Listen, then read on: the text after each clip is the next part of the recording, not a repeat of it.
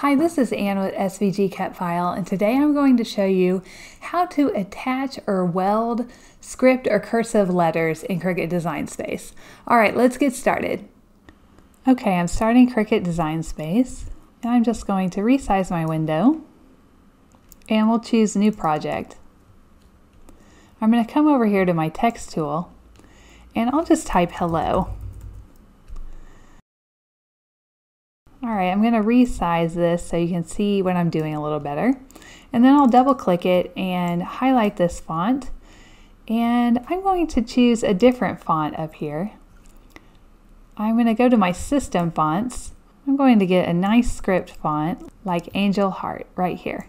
Okay, and you can see they're really widely spaced apart. That's something that Cricut always does. So you can come up here to letter space and reduce the letter spacing until they touch. And this looks really nice. Now let's change the color right up here. I'm going to make it light purple. And you can kind of see that there might be a little bit of a problem. Wherever these letters touch, there's a line between it. And what Cricut will do if you cut it right now is it will cut right there. They aren't actually attached, even though they look attached. So what we have to do is come down here to weld. That's right down here in the bottom right and click it. And now you can see they are actually attached to each other. So that is the fastest, simplest way to do it. But sometimes you'll get different fonts that don't come together as nicely as Angel Heart does. So let's try one of those. I'm going to get back on my text tool and I'll type Friends. And now I'm going to choose a different font. This one is Brahana. We'll just choose that one. I'm going to make it quite a bit bigger. And then I'm going to reduce the letter spacing like we did before. I'm just going to highlight in there and choose zero.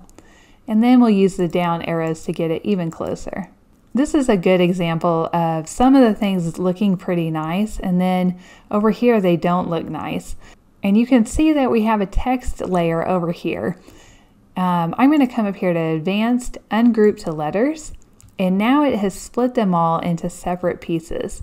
So now we can just click on this S and move it a little closer until it touches. Maybe we'll click on the F and move it a little closer, but I don't really want these to touch. Okay, I'm going to highlight everything and then we'll come down here to weld. So if you decide to cut this and you forget to weld, it is going to cut in between the letters. So just know that that is going to happen if you forget to weld.